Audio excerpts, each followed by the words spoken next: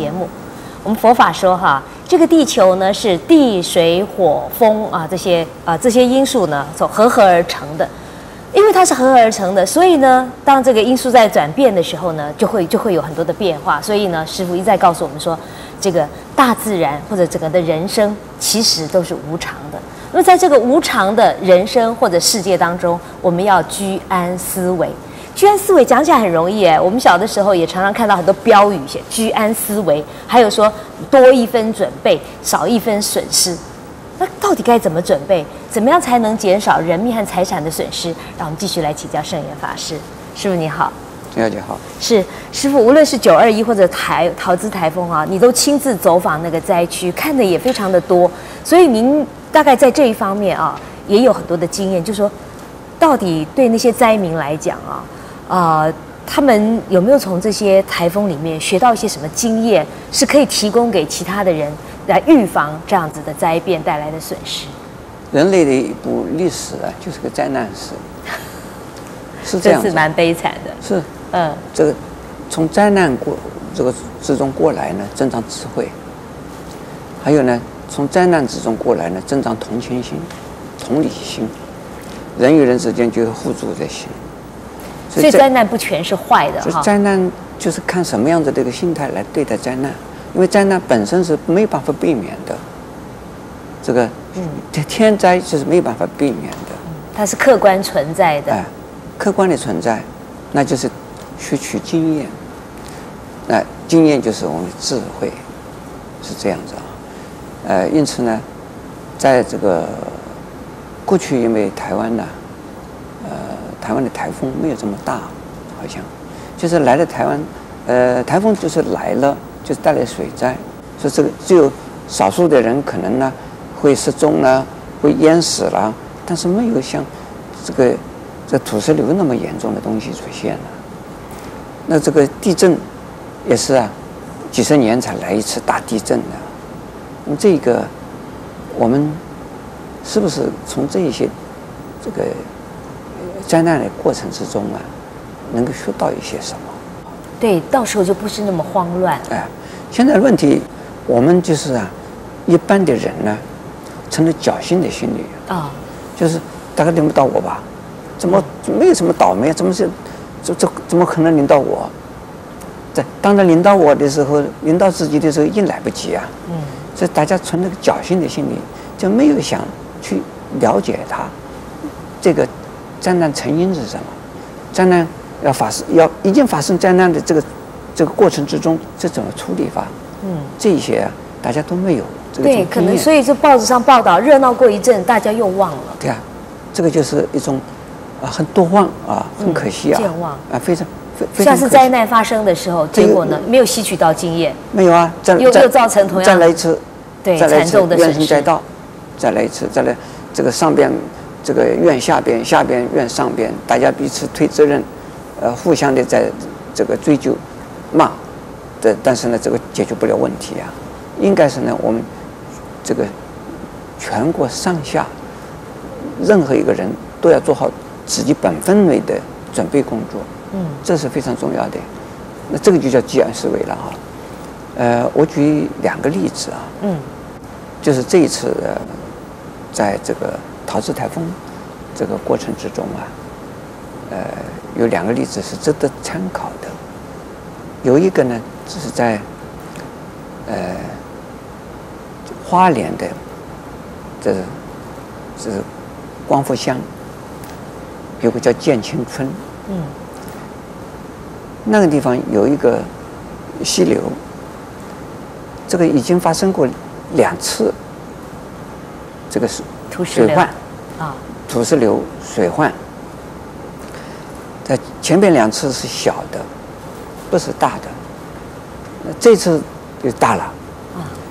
但是呢，建前村的有个村长，呃，那个村是一个原住民啊，山这个山地山地同胞原住民，他那个村长啊，已经就知道这个会有什么灾难来，他看到那个溪里边的水啊，嗯，越来越大，这个下雨。雨雨量越来越大，嗯，而且呢，也看到有些石头往下滚了，他就挨家挨户的敲敲这个呃村民的房子门，啊。赶快逃，赶快逃，说这这个麻烦会来了，啊危险很危险，赶快逃。就这样子的时候，大家逃出去了。所以说，整个的村庄里的房子不能住的，没有一间房子能住啊。可是村庄里的每一个人都是好好的，哎，人都平安，人也也没有上受伤，呃，这个是这是一个非常非常好的一个经验啊。对，另外呢，在南头嗯有一家人家，他们这些全家的人呢，就是在溪的边上，也是也在溪口上。嗯，这个下大雨，他看到这个水啊，他自己家里的水渐渐渐渐上升。哎，他说我家里的水上升了，这个这个很奇怪。他说，哎，突然间一下子啊，水没有了，嗯，没有水了，他就心里想到不得了，嗯，外边下大雨，是。雨还是很大，就是水忽然反而没了，水反正没有了，他说这这一定问题，他说不得了，这个水马上会下来，啊。就是一定是这个水啊被那个石头啊啊。挡了个坝，啊，暂时拦住了一下。暂，时拦住了，这个不是个坝，这个就是嗯土石啊，对，但是赶快逃，他带着全家的人逃出去，啊逃出去以后呢，这个他的房子就不见了。幸好走早走了，哎，那么这个是一个非常好的一种一种一种经验啊。一个呢，对土石流的认知，他晓得可能很危险；第二个认知呢，就是晓得什么样的状况下，它这个是会有土石流下来，而且严重的状况会来。那么这个也是啊，也是一个认知，所以这个防灾，防灾还是能防哎。对，至少生命可以保住哎，是。哎，还是要多一份警觉，多一份准备，哎啊，就可以少一点损失啊。我们常说前事不忘，后事之师。那么尤其呢，是从这个灾难里面，或者说从生死边缘啊，我们所学得的一些呃这个经验呢，我想更是可贵的。希望大家都不要忘了，也请待会儿继续跟我们分享佛法的智慧。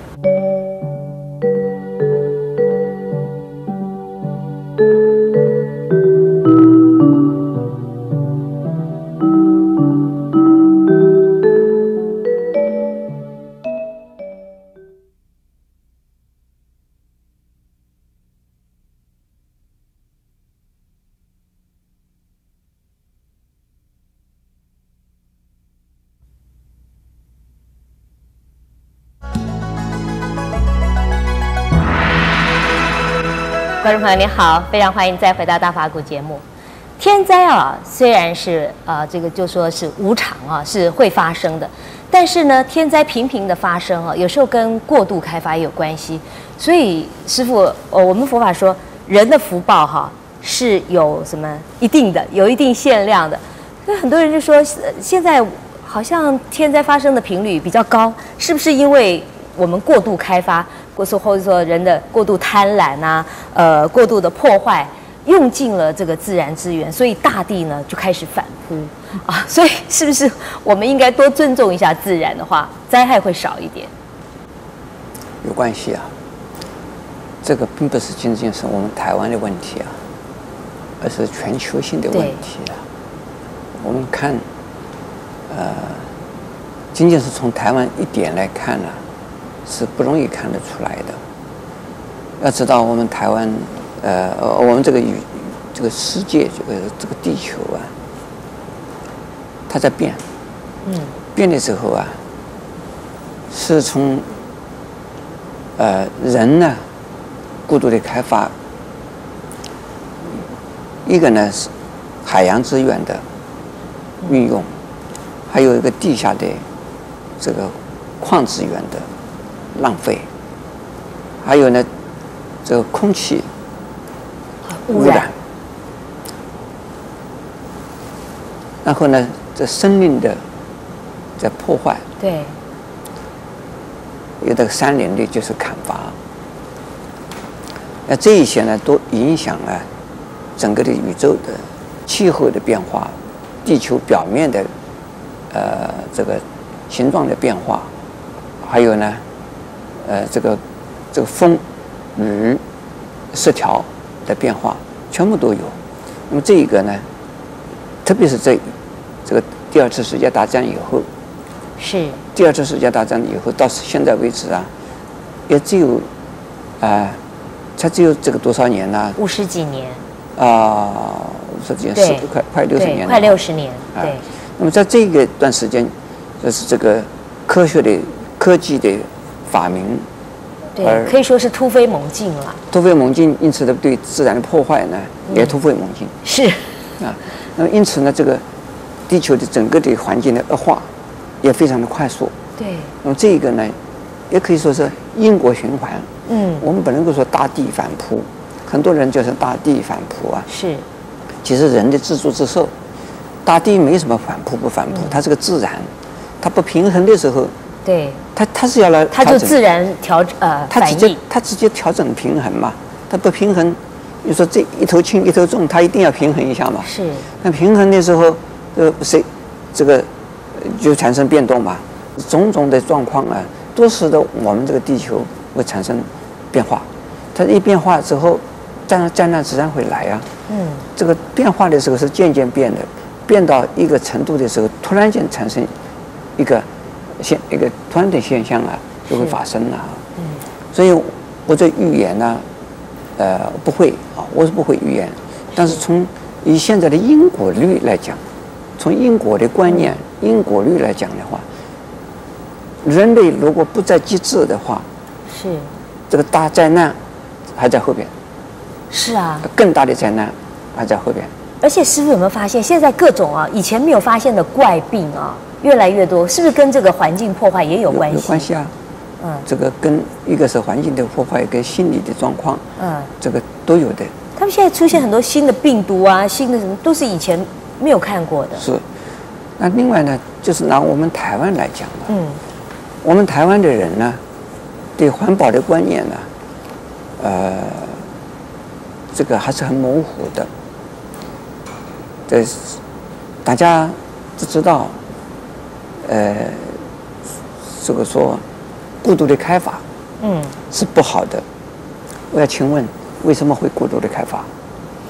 呃，因为大家想吃，譬如说，大家说想吃高山蔬菜嘛，呃，高山水果嘛，然后呃，种槟榔卖得好嘛，然后呃，就是土地不利用很可惜啊，要盖房子啊，啊、要挖那个，要为了要盖房子要挖那个沙石啊，很多很都是为了满足人类的欲望嘛，是不是呢，师傅？是这样子啊，你说的说的非常好啊。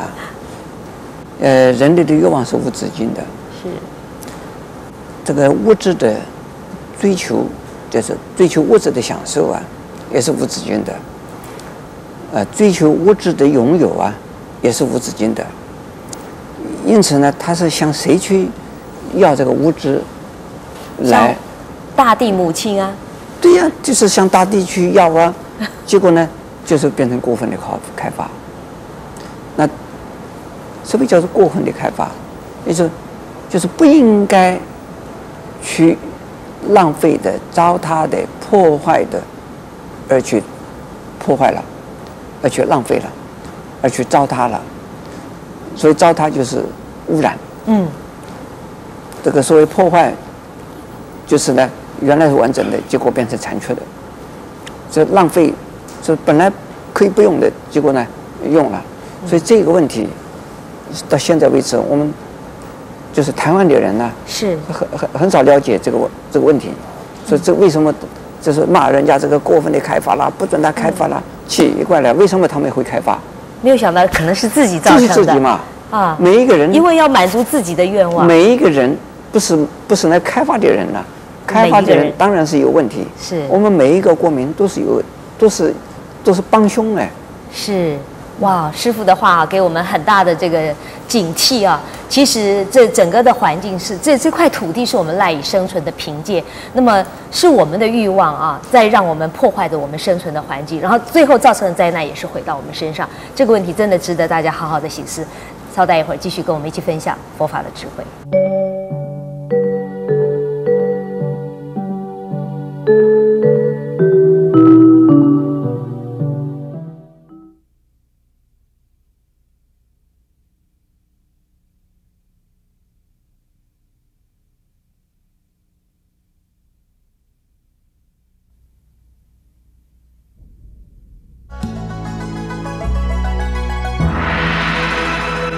各位观众朋友，欢欢迎再回到大法古节目。那么在呃刚刚呢，这个圣严法师啊，给我们一个当头棒喝。他说哈，呃，关于这个大自然环境的破坏，每个人都是帮凶，是我们的贪婪啊，是呃来过度开发了这块土地。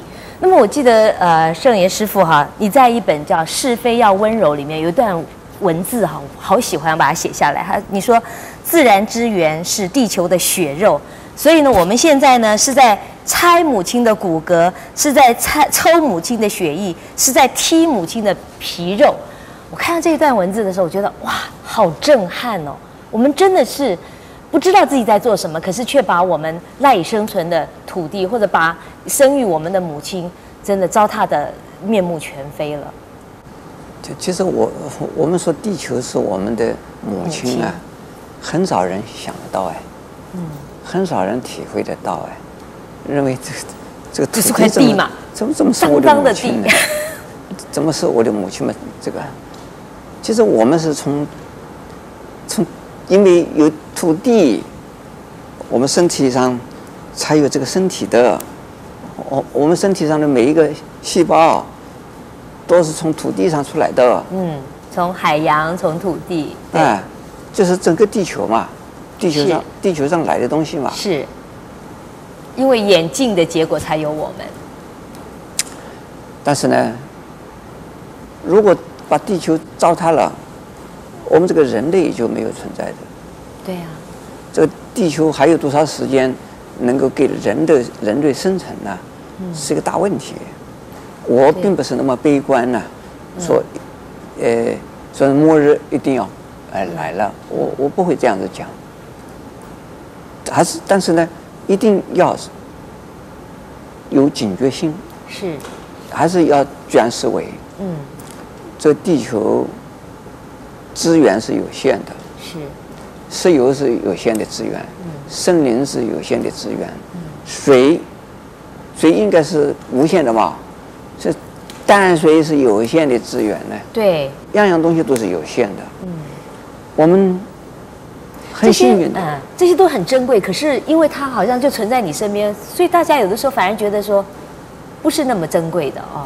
是啊，这就是福报。我们讲的是福报啊。我们很有福报，生在地球上是有有这些资源。现在我们浪费这些福报，我们浪费了福报之后呢，我讲起来更更可怕啊。嗯。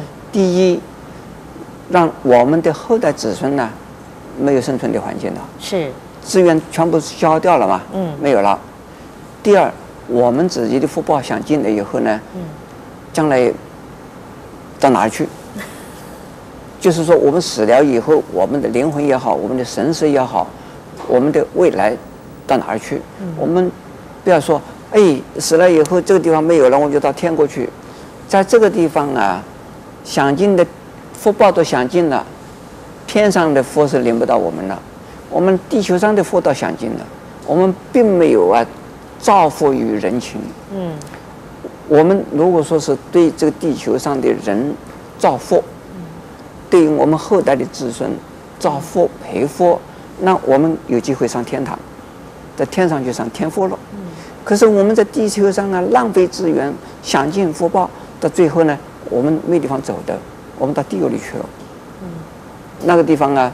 到了地狱里边呢，没有水喝，没没没有空气，呃，就就是在那边，永永永远是这个是在做了一个什么，非常的这个这个一个是非常寒冷，或者是或者是非常的酷热，酷热，那这个是把寒地狱、把热地狱，是到这种、这种、这这种世界去。那这个就是因为在地球上啊，我们合作的时候把福报享尽了的关系，所以是呢，站在作为一个佛教徒的立场也好，站在一个作为一个普通人的立场，是不是佛教徒没有什么关系，嗯，也应该多积一些德，嗯，少想一些佛，嗯，这个我经常讲啊，需要的也不多哎，对。我们的生活里面的需要的不多的，想要的太多哎。是，因为为了想要，结果呢，我们每一个人都在想要，想要吃的好一点，想要住的好一点，想要穿的好一点，想要生活的环境啊，这个舒服一些。想要开的车好一点。冷气开强一点。强一点。这个这些东西。多是地球的资源，多是在破坏地球的资源，浪费地球的资源，多是制造很多的污染，制制造污污污污染，就是做做坏事了，都是。对。这个就是做坏事啊！那做做坏事的人，那就不存好心呢？为什么呢？贪心，贪得无厌的心。最近，嗯，就是最近，因为我们台湾的。不太景气了，失业的人少了，呃，多了。嗯，这个景气不好了。嗯，大家的钱比较缩缩水了，所以这个房产呢，房地产嘛，一下子就很呃低迷。这个有一位这个房地产的这个老板跟我讲，他说现在的台湾呢，房地产是啊，需要的人才要，想要的人呢，不会要，不要了。这样子就是不会有过度的开发呀。需要的人，什么叫做需要？一家子一家几口，一家三口四口，带几平大的地就房子就够了。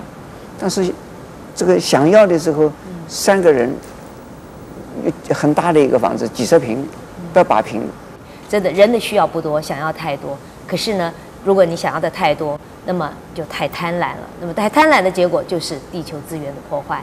那么也欢迎你在下一次继续跟我们一起分享佛法的智慧。